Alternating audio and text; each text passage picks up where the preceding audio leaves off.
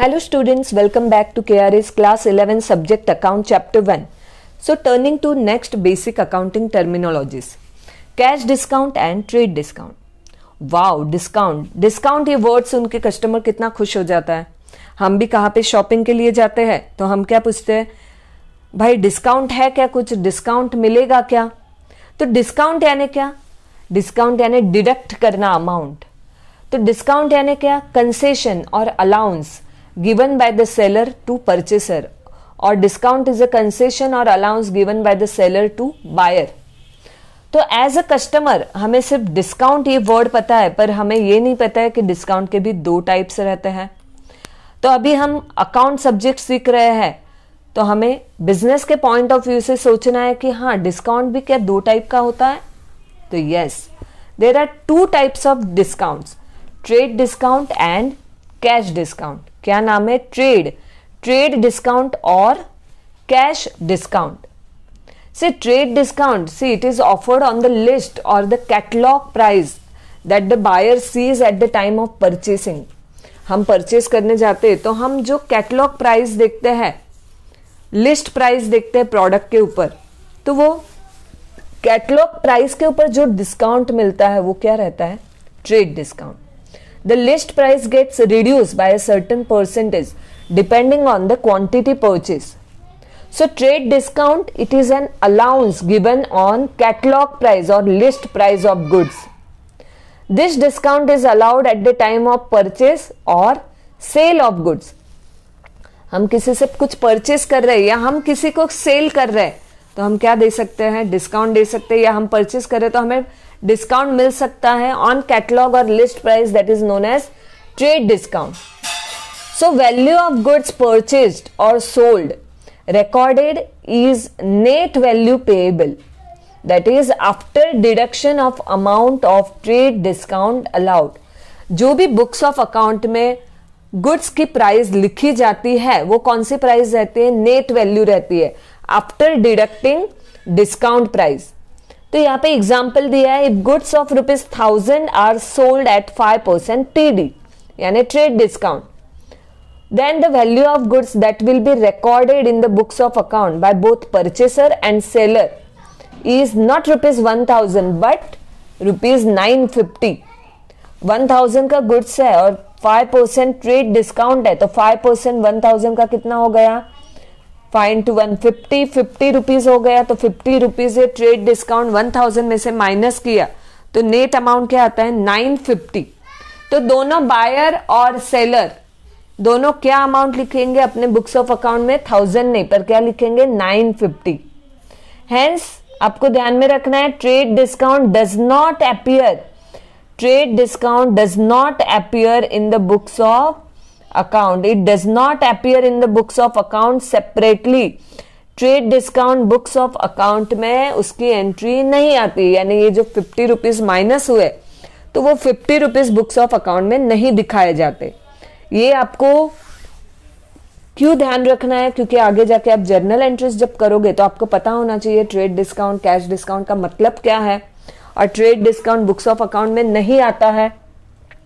उसके बाद है cash discount Say cash discount is offered to the buyer on the invoice price, or we can say billed price of the goods and services. Trade discount किसके ऊपर रहता है? कौन से प्राइस के ऊपर? तो कैटलॉग प्राइस और list price of the goods catalogue price और list price of the goods और कैश डिस्काउंट कैश डिस्काउंट किसके ऊपर आता है? तो कैश डिस्काउंट आता है ऑन द इनवॉइस प्राइस और billed price of the goods and services So, cash discount, it is the amount deducted from the final amount due at the time of receipt. जब actual में पैसा, उधार पे पैसा, उधार पे गुड्स सेल किया है, कोई भी प्रॉपर्टी कुछ भी सेल किया है या परचेस किया है क्रेडिट में, और बाद में जाके कैश पेमेंट जब होगा, तब जो डिस्काउंट लगाया जाता है डिस्काउंट जो माइनस होता है for the immediate prompt payment उसे बोलते हैं cash discount it is the concession given for encouraging prompt payment for encouraging prompt payment cash discount ये किसके लिए कंसेशन रहता है? फॉर एनकरेजिंग जिसके पास से पैसा लेना है तो उससे प्रॉम्प्ट पेमेंट तुरंत पैसा आने के लिए। It is given either for the spot payment और for the payment within a specific period कि हाँ कस्टमर को बोला चल, तू तुरंत पैसा देने वाला है क्या? ये नाइन फिफ्टी रुपीज़ तो मैं और तुझे फाइव परसेंट डिस्काउंट देता हूँ। या फिर तू ये वीक में देने वाला है क्या तुरंत within this specific period तो मैं तुझे कैश डिस्काउंट देता हूँ। So it is for encouraging prompt payment cash discount is calculated after deducting trade discount students ये बात आपको बहुत अच्छे से ध्यान में रखनी है। कैश डिस्काउंट स्क्रीन पे देखो, मैंने स्क्वायर किया हुआ है, वो सेंटेंस ध्यान में रखो। Cash discount is calculated after deducting trade discount आगे जाके आप जब जर्नल एंट्री भी सॉल्व करोगे एक ही ट्रांजेक्शन में आपको ट्रेड डिस्काउंट भी दिया है और कैश डिस्काउंट भी दिया है। तो आपको ध्यान में रखना है कि कैश डिस्काउंट कब हमें कैलकुलेट करना है? After deducting trade discount since it is a loss to the seller and gain to the buyer cash discount appears in the books of account क्योंकि जैसे ट्रेड डिस्काउंट माइनस करने के बाद nine fifty rupees है और cash discount देके और पैसा कम मिलने वाला है। तो वो सेलर के लिए क्या हो गया? लॉस हो गया और बायर के लिए क्या हो गया? गेन हो गया।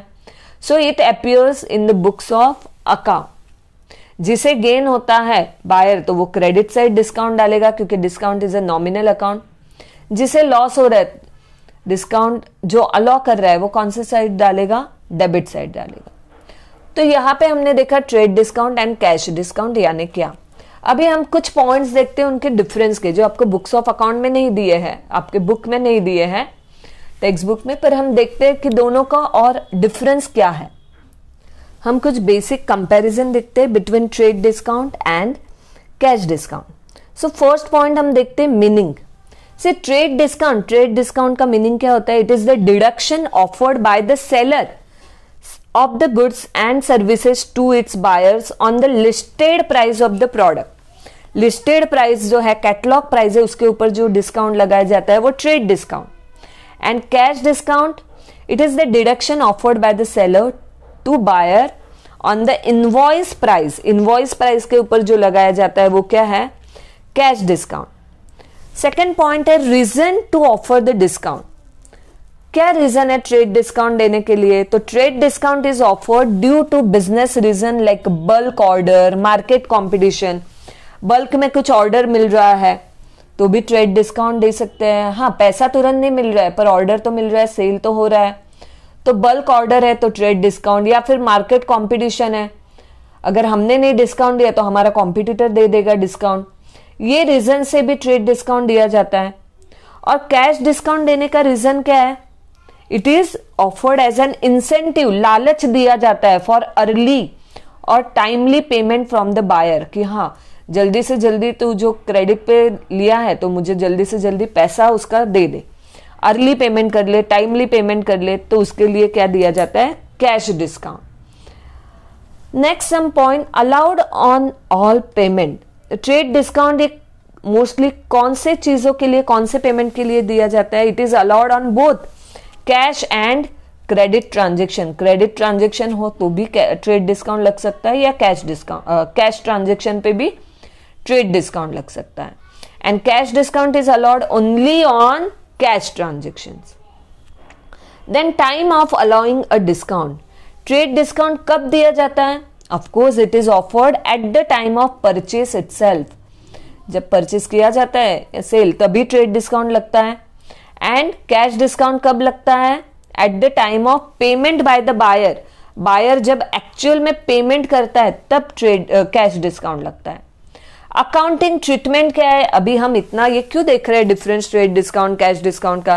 क्योंकि हमें देखना है उसके अकाउंटिंग ट्रीटमेंट क्या है? कौन सा डिस्काउंट बुक्स ऑफ़ अकाउंट में आता है? इसलिए हम इतनी झंझट मारी कर रहे हैं कि हाँ ट्रेड डिस्काउंट यानी क्या? कैश डिस्काउंट यानी क्या?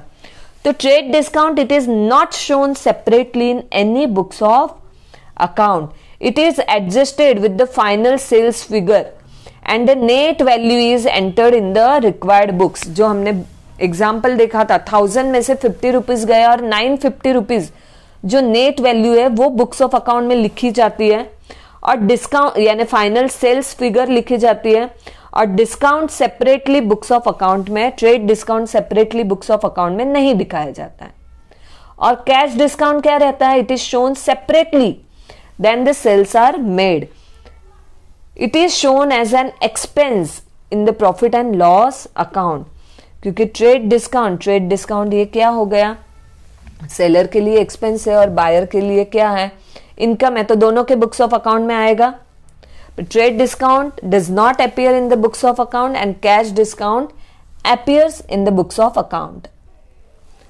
So uh, we saw वो both meaning trade discount and cash discount यानी एक बात तो पता चल गई trade discount and cash discount are both common methods use by any company any businessman to attract wholesale buying and timely payment by the their buyers wholesale buying के लिए या टाइमली पेमेंट होने के लिए बायर के पास से T D and C D use किया जाता है।